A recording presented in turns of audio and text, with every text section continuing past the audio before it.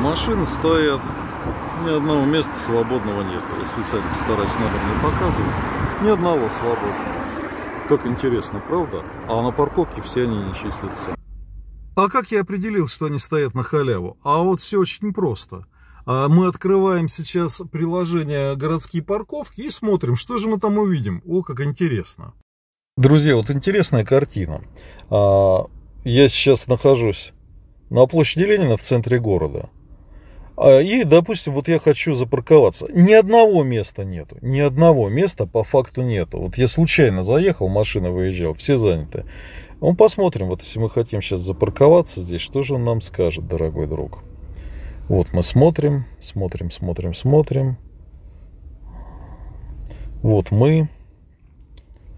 И вот мы хотим запарковаться. Показывает.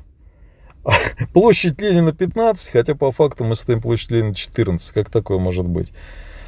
Мест всего 24, свободно 21. Это значит, э, три человека заплатили за парковку, а остальные стоят просто так, потому что по факту ни одного свободного места здесь нет. Ну вот и на карте мы видим. Ну, нет, на карте мы не видим количество машин.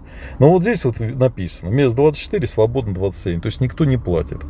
Ребят, правильно я поддерживаю полностью, что за воздух платить не надо. Но я, будучи законопослушным человеком, заплатил за 10 минут стоянки, там 20 рублей, сплю спокойно. Хотя, наверное, я не прав. Надо протестовать против этого всего. А, вот. Либо делать так, чтобы все платили, либо делать так, чтобы порядочные платят, а непорядочные у нас не платят. Вот что получается по факту. Разгадка этой ситуации. Вот почему им не приходит штраф, потому что у них нет номеров. Вот они, сняты или заклеены. Алло?